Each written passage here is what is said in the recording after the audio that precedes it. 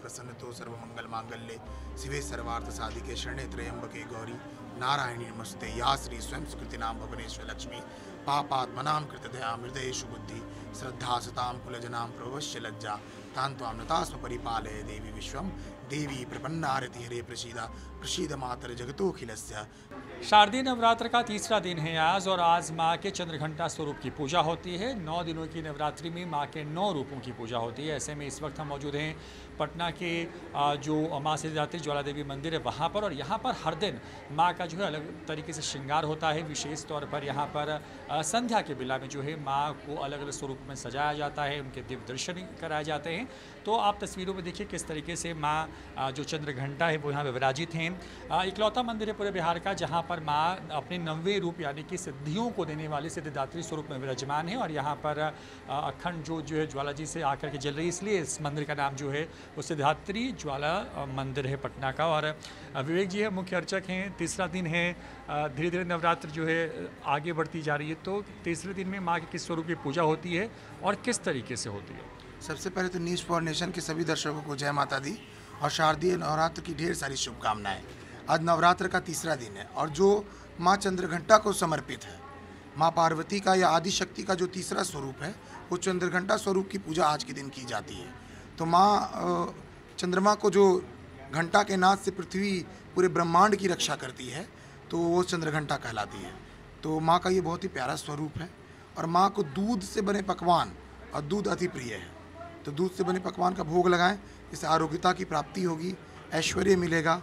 तो इसके साथ साथ माँ चंद्रघंटा की पूजा करें। मतलब जो अगर आज की बात करें तो दिन भर किस तरीके से जो है भगवती की उपासना होगी पूजा होगी जो भक्त हैं वो किस तरीके से दर्शन करेंगे यहाँ पे क्या कुछ तैयारियाँ की गई हैं? तो जो नित्य दिन का जो नियम है उस हिसाब से सुबह से शाम तक भक्त तो आते ही हैं दुर्गा पाठ होता है सुबह में भगवती का फिर श्रृंगार होकर के अर्चन होता है। शाम में फिर संध्या श्रृंगार होकर के आरती होती है। तो ये सिलसिलेवार तरीके से नौ दिन का ये नवरात्र पर्यंत ये पूरा चलते ही रहता है।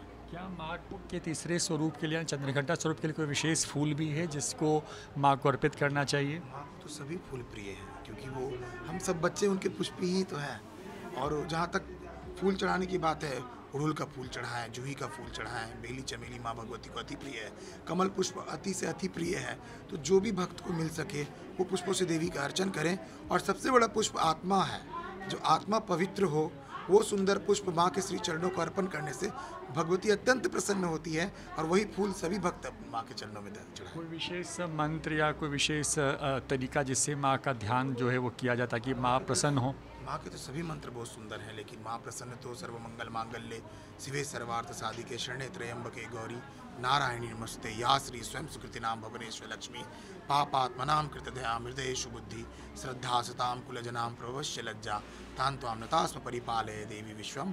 देवी प्रपन्नारति हरे प्रसीदा। प्रसीद मातर जगतोखिलस्य प्रसीद विश्वेश्वरी पाहि विश्वं तमीश्वरी देवी चराचरस्य। और अंत में यही कहेंगे, देहि सौभाग्यम, आरोग्यम। देहि में परमम सुखम रूपम देहि जयम देहि, यशो देहि दिशो जय।